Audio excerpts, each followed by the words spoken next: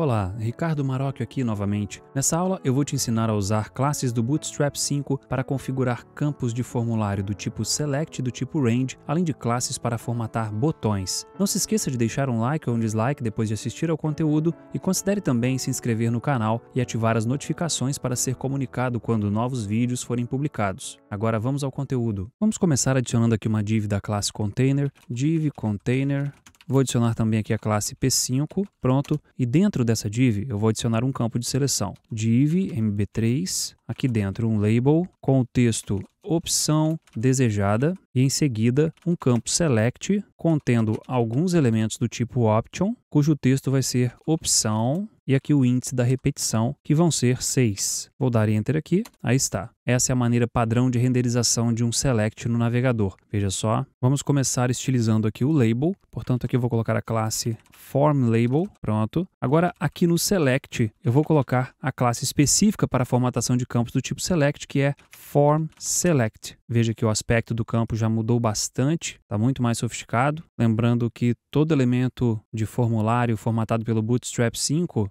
ocupa 100% da largura do pai. Mas é possível colocar esse elemento com uma largura menor. Vamos fazer isso. Eu vou envolvê-lo por uma div da classe co4. Vou puxar essa div aqui para baixo, segurando Alt e seta para baixo. Aí está, vou tirar essa linha aqui excedente. E veja como ficou. Agora ele ficou bem mais estreito, ocupando apenas quatro colunas das 12 disponíveis pelo sistema de layout do Bootstrap. Eu consigo ainda mexer no tamanho desse campo, eu consigo deixá-lo um pouco maior, usando aqui Form Select LG, veja só, ficou aqui um pouco maior. E se eu trocar o LG por SM, ele fica um pouco menor. Aí está. Vamos voltar ao padrão para vermos a diferença. Aí está. Agora eu vou adicionar aqui o atributo Multiple sozinho e veja o que acontece. Ele mostra quatro opções com uma barra de rolagem. Eu ainda posso passar aqui o atributo Size igual, por exemplo, a 6 e ele acaba mostrando as seis opções e nós não temos barra de rolagem. Nós temos também, assim como para outros campos, o atributo Disabled. Aí está, o campo fica com aspecto de desabilitado. Essas são as opções de configuração de um select usando classes do Bootstrap 5. Portanto, nós temos a classe FormSelect, que eu acabei repetindo aqui, que estabelece um estilo padrão para campos de seleção. Vamos ver agora como é a aparência de um campo do tipo range. Logo abaixo aqui do campo do select vou colocar um hr e vou adicionar o seguinte: uma div da classe mb3, dentro dela um label com um input do tipo range. Aí está, label for, vou colocar aqui faixa, o título vou colocar etapa, o name eu não vou usar,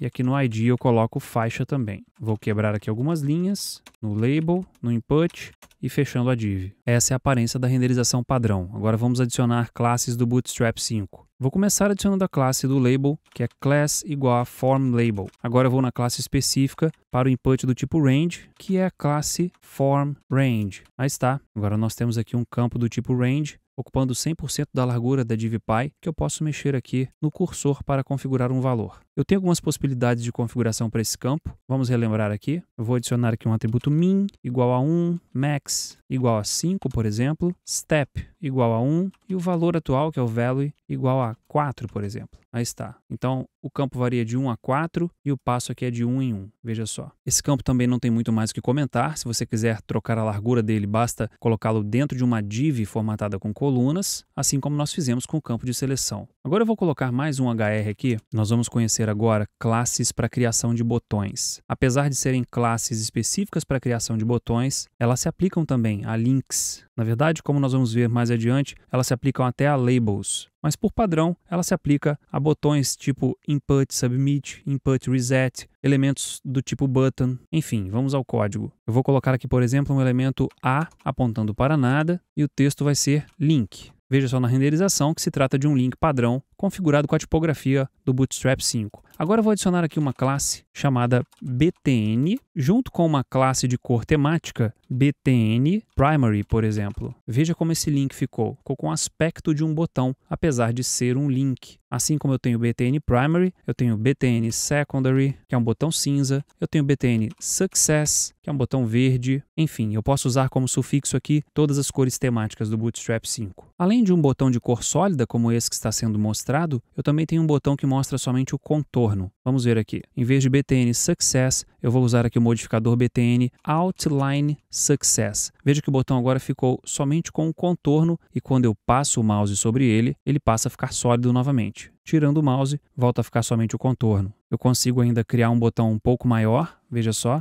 BTN LG, aí está, um botão um pouco maior. E eu posso criar um botão um pouco menor, BTN SM, aí está.